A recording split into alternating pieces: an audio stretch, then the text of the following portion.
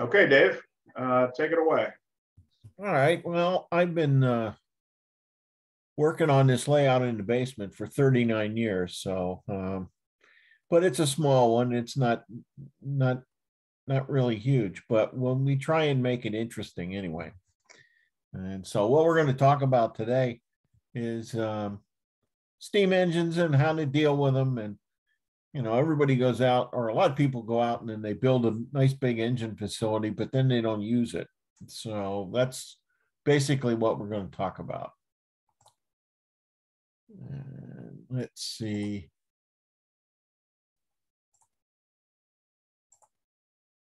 There we go.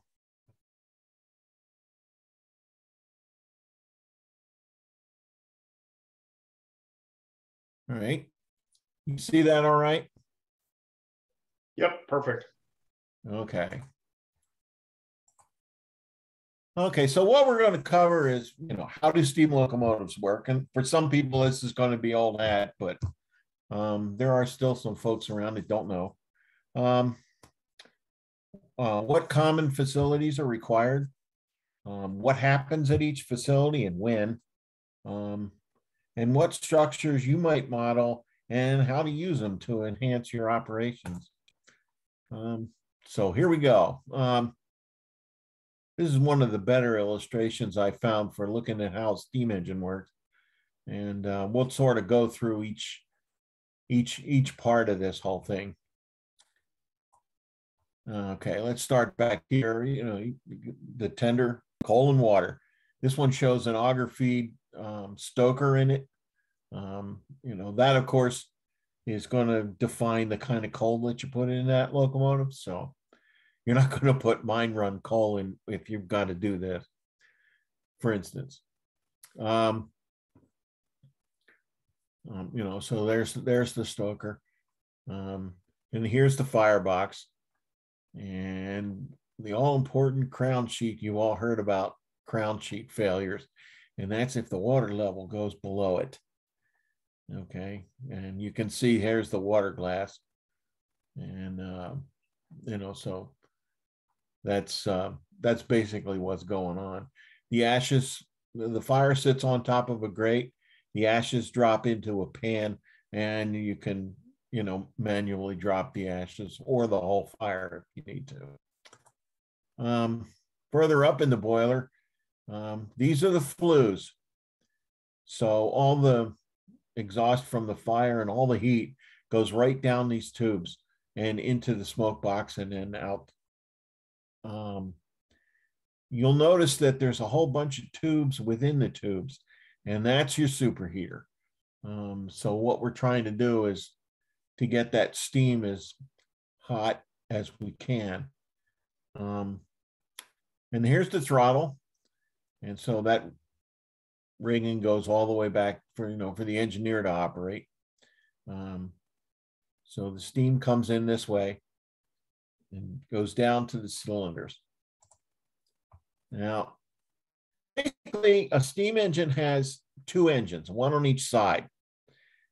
And they are arranged so that they're a quarter turn apart.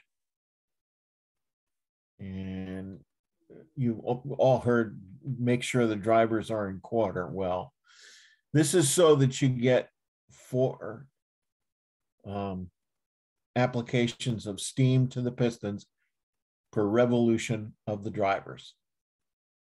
Okay, so um, in this particular one, um, the valve is up here and the piston is right here.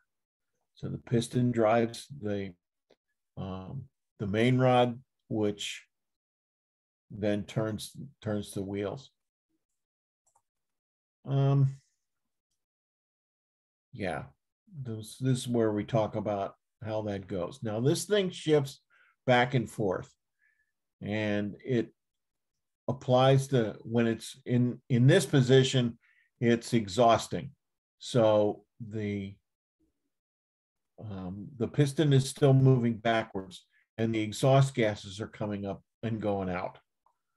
And then what'll happen is this thing will move, and then it'll put steam on this side and push it back. And then the engine on the other side is doing the, the same thing, but it's one quarter turn apart. That's why you hear four chuffs per revolution. So um, different kinds of valves. You've seen the little square ones on top of the um, the cylinders. That's a slide valve, and this is kind of how that looks.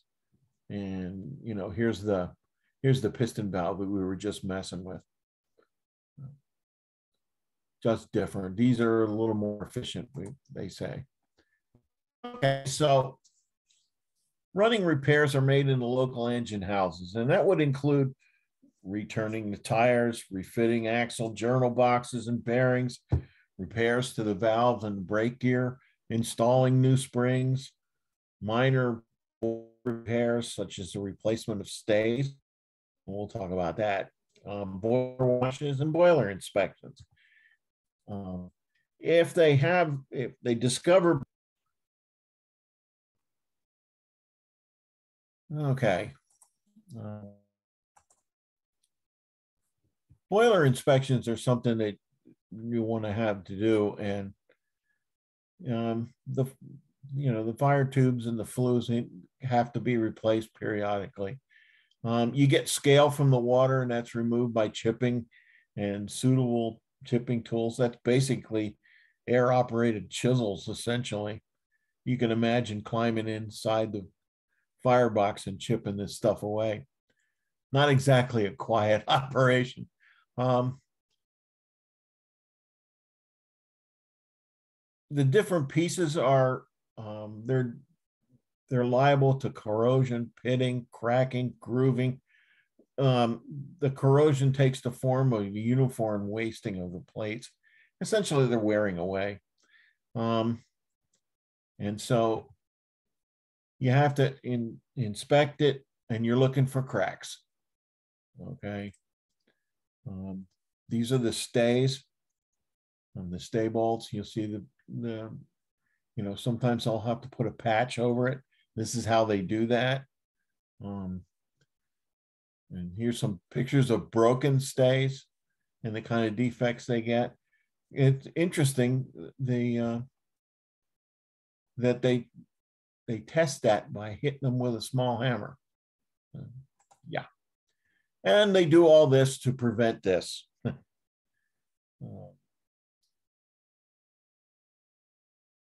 you know, so that's that's in 43. So, and this is what happens if you have a crown sheet failure. This area right here is where the cab used to be. Uh, yeah. Okay. So steam engines have they require different things. So you got fuel, which it's whether it's coal, wood, or oil, um, water, sand, lubrication of the parts, cleaning the fire, remove the ashes, daily, weekly, monthly mechanical service, periodic boiler inspections, and major repairs and overhauls. Um, there's all kinds of things that sort of get in the way of and um, you know so the size and the capacity of the tender may limit the distance between water stops and fuel stops. The size of the ash pan may dictate how often the ash pan must be emptied and it could be different for each locomotive.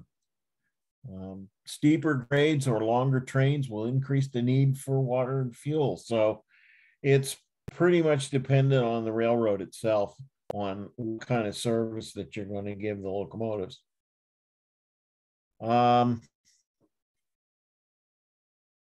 you could print these requirements on the back side of your locomotive card if you're using um, car card and waybills, you know, so that there's there's a reference for some of that stuff. Um, the other couple of questions is: Do you have enough water tanks out on the main line? Do you do you need coal or fuel facilities out there? Um, so generally speaking, where do you meet these requirements? Essentially, that's this is at the the engine service facility, and this is basically what they look like. Um, Obviously, it's going to be different for each each railroad. Okay. This is the inbound track. And so what you're going to do is you have the ash pit is here. You can get water here, coal here, sand here, and this is a wash rack. Okay. When they're leaving, you'd come out this way and you can top all those things off when you're getting ready to move the locomotive.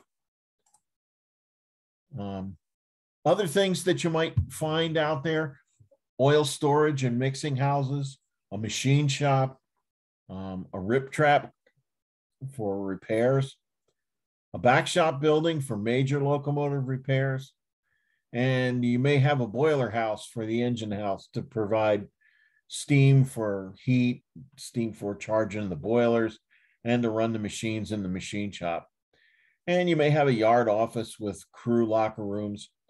I mean, you can fill up your whole basement with just the engine facilities in the yard. Um, you know, so you got to keep it going. Here's the oil mixing house that I have on my railroad. Not a very big one, but it's still there. And it generates traffic to and fro. Um, here's the rip track.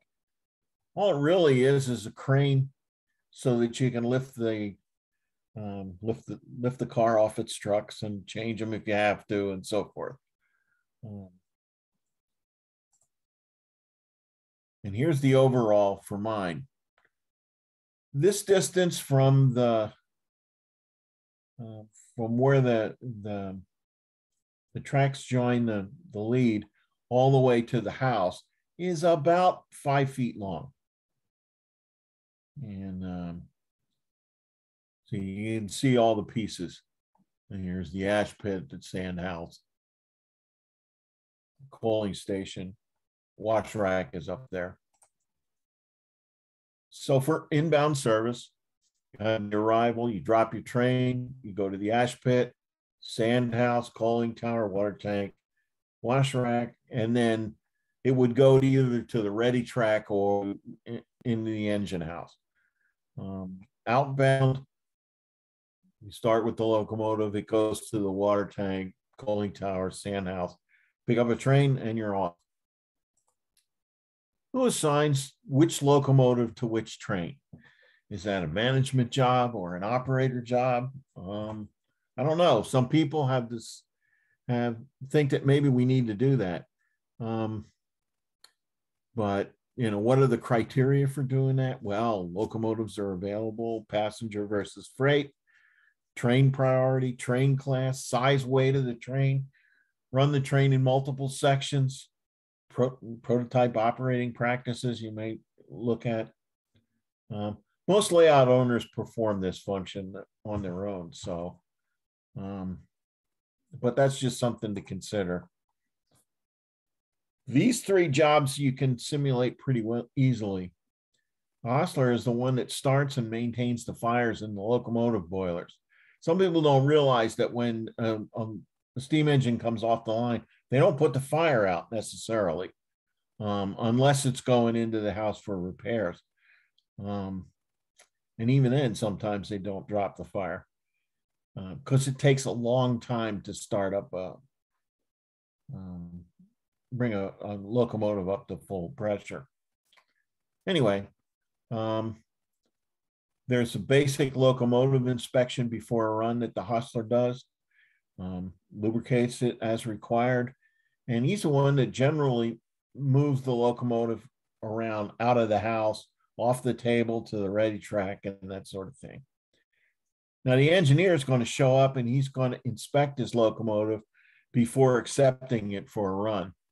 He's responsible for the safe and correct operation of the locomotive while it's in his care. And then at the end of the run, he reports any items requiring service or repair um, at the end of the run in writing. So, um, and then you have the fireman. The fireman means maintenance of the fire in the firebox. He may, monitors the water level and makes sure that doesn't um, go low. and will assist the engineer with operations as required.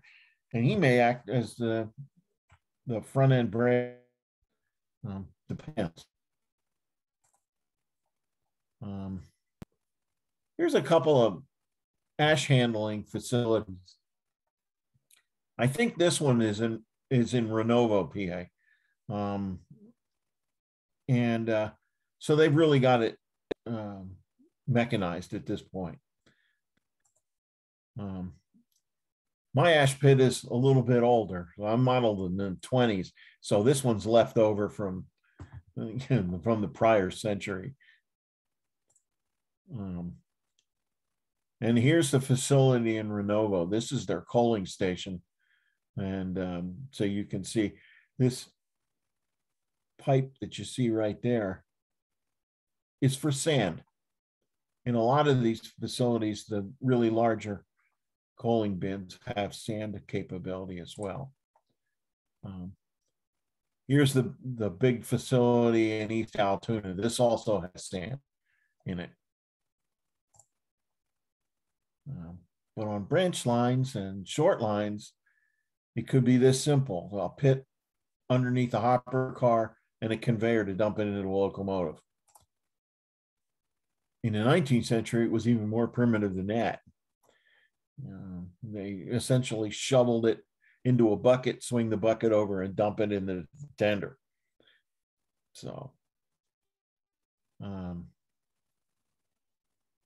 so you know, on an outbound locomotive, here we have an H class consolidation. So we we pull up and we top off the coal.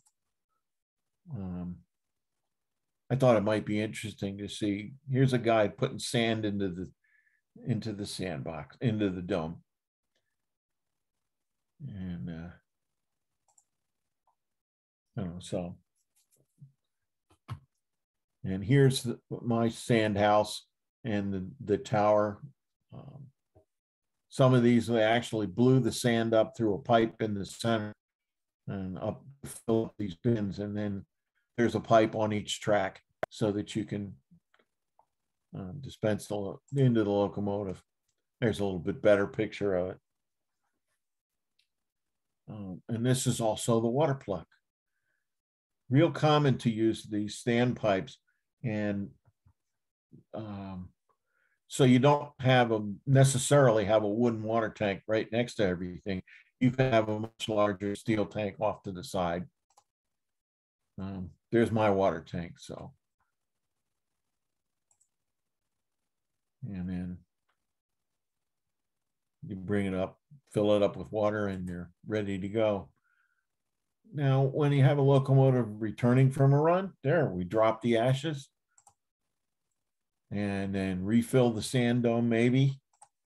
Um, fill the tender with with coal and water. Anybody know why we do that? One of the things that has to happen is you've got to balance the locomotive on the turntable. And it's a whole lot easier to do that with a full load of coal and water. So, and then to the wash rack, clean it all up, and then to it, like I said, either to the ready track or to the um, to the house. And here's the here's the wash rack on on my model railroad. So you can see it's just pretty simple. It's a concrete pad on each side, and you've got these um, doors in the floor, which that's where the high pressure hoses are kept. And so then you pull them out and then they wash the locomotive with that. So then you put the locomotive on the turntable, center it, balance it, and send it into the stalls.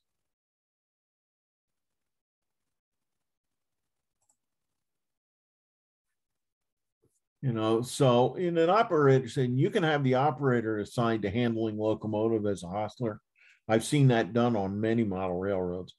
Um, so the engineers pick up their locomotive um, either from the ready track or whatever, but you get that interaction between the hostler and the and the engine. Is one of the things you can do seen a lot of model railroads where you go in and you get assigned your train and you go pick it up and the whole train is already there. Locomotives are already on it and you go off. Um, so you don't see any of these, but it kind of makes it interesting to uh, to do the service. Um, this way, you know, you could have your engineers pick up your locomotives and do the pre-service stops before picking up their train. Um, engineers could do the service stops at the end of the run and report any maintenance needs to the hostler. You can do that in writing. Make sure there are deliveries of freight cars to the coaling tower, to the sand house, ash pit. Um, good job for the yard switcher, and it adds traffic. Um, and yeah, make sure there are water tanks out along the main line. Um, you could do set up a scheduled maintenance program. Um, I don't know, sounds like a good excuse to uh, increase the number of locomotives in your stable. Um, your crews may be used to having one in on the coal drag, but tonight it may be a different one, it may be a lighter engine, and it may, may be a, a pair of, you know, consolidations, um, whatever. Um, you can plan this out or just make that decision when setting up the op session. Um, oh, here's a water tank out on the main line. This is a water plug that's hooked to a signal bridge. Um, I thought this was at Kittanning Point in Pennsylvania near a horseshoe curve, but I'm not sure. This is the coal wharf at Denholm, Pennsylvania, and you can see how the the hopper cars are go out over over top, and they put it and they can service all these tracks. I think it's I think it's ten car ten tracks wide. I think. Anyway. So you spent all that time and expense to build the roundhouse and the turntable, coaling tower, water tank, sand house, ash pit. Why not use their um, use them during the op session.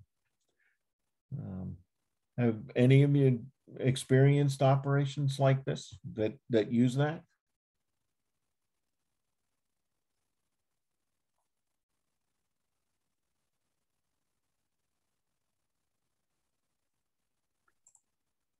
For uh, for his question, if you've got comments, make sure you've got your chat window open and put them in there, and we'll go through those when Dave's all done. But right now, everybody's muted. Okay. Um, this is the yard on my model railroad. And you can see that, you know, so from here all the way back to this, to this lead is only about five feet long. And, uh, you know, so the yard, um, it's easy for a yard to overpower the whole railroad. So, you know, you got to kind of pick and choose what you're going to do. Mm. So you can see how big how big the yard is. I don't know if I put, no, I guess not. So there we go. Questions now. Uh, let me bring up the chat window real quick. Uh, let's see, Eric Heiser is asking, it would be useful to know timing required for each step for a typical small or large engine. So like how long it takes to. It's infinitely variable. It's going to depend on, uh, you know, how big the tender is, um, how much coal was left in it when you got there. I mean, you know, it's, uh, you know, the prototype is is essentially preparing the locomotives well before they need them. So, okay. Uh, let's see. There was a question about oh, Ken is saying five to ten minutes for water or fuel. Um, let's see, there was a question about how often are boilers inspected? Ken answered inspections every 30 days, boiler wash clean try cocks and water glass valves, and crown sheet and plug. Other inspections are periodic set by federal rules. Every loco has an annual inspection. And I'm pretty sure that, it, I mean, obviously yours is a little bit different era than now, but the local uh, railroad museum that had a steam engine, I think they have to rebuild the boiler, like to tear the whole thing apart. Is it every 10 years or 20 years? Um, I don't know what the federal regulations on that are, but that is a federal regulation for that. Yeah. No. I mean, that was only one of the things that put them under, but uh, I remember the steam engine ran when we first moved here and I never saw it again because they never had the money to, to do the rebuild. But uh, let's see, Bill, Bill Grierson, uh, let's see. Travers is saying, I don't see an inspection pit. How large did the terminal need to be before there would be a pit? Odds are the pits would be inside the house. Okay. On some of the bigger ones, um, the bigger yards, I mean, the, they hook one to the ready track. And so you actually had, had guys out there sitting in a hole when the locomotives go by. Okay, let's see. Ken is saying 1,472 operating days require tubes to remove, be removed and boiler shell to ultrasound tested for thickness. So, yeah. Um, so it's more the the days versus the how old is it? So, uh, Bill is asking, or Bill is saying, I run steam on a branch line, but there's a water tank halfway up the grade. Crews are required to stop for water there, and at each end of the branch. Most steam model railroads I operated on do not have enough or maybe no water tanks, let alone requiring stops for water. I'm not sure why. Uh, I'll throw out that they didn't want to model that detail. um, uh, there was another, I think it was Mark Dance, uh, who did one of our virtual meetups back a while ago, who has a whole, he had a whole system where when the engine came in, there were all the different steps you had to do in the engine facility. So sort of like what you're talking about here, Dave. Yeah. Um, yeah, there were timings on it, um, and so on. Um, as far as the water tanks, not enough water tanks. At what point did they start having the engines that could scoop on the run? Where they would put the scoop down and there'd be a water trough in the middle of the track. You know what I'm talking about? Oh yeah, track pans were, you know, there were there were a lot of them on many different railroads. Um, I know that the uh, the Pennsy had them in the 19th century, so okay, some of those go back. I wouldn't be a bit surprised to see them in the 1870s or 1880s. Okay.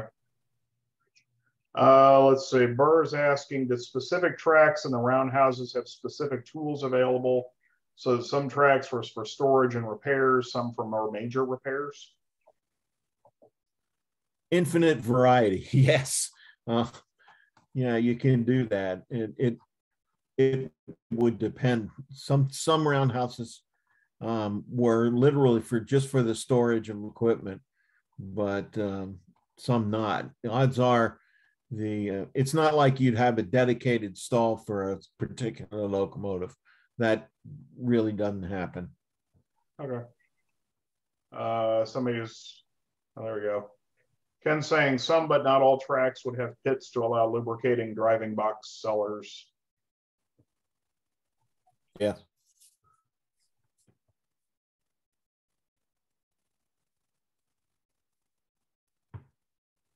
All right, that's all the questions so far.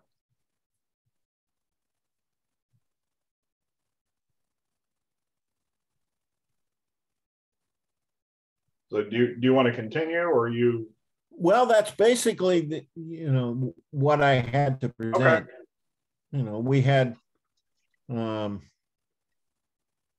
there's a lot of, lot of folks that just don't have the um you know the knowledge base to you know to run some of that and this is just a beginning this this subject is huge it's absolutely monstrous yeah no and how much of it you want to add into an operation is is going to be dependent on how much of your basement is full of yard and how much Sure, isn't. sure. Uh, let's see, a couple of, couple more comments here. Some, but all not, not all tracks would have pits to allow, or, uh, at least one in larger roundhouses would have a drop table to remove a set of wheels and axle. Uh, Cal Sexsmith from up in Canada, a local roundhouse here had six cold tracks for storage and six hot tracks for repairs, i.e. heated. Um, don't forget the fire cleaning tools, rakes, slicers, and other tools to clean ashes out, usually hung on a rack, easily made from wire. Just the little details.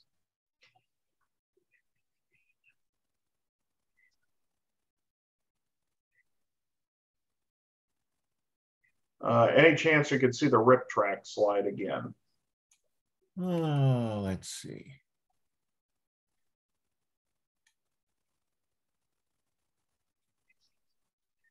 Huh? I think maybe it was that, was it that first one where you had the, uh, the track plan? Oh, let's see. I might have blown past it. No, yeah. No, this was earlier than that. Uh, no, too far. There it is. There you go. Rich, is that the one you're looking for? You can just type your answer in the comments.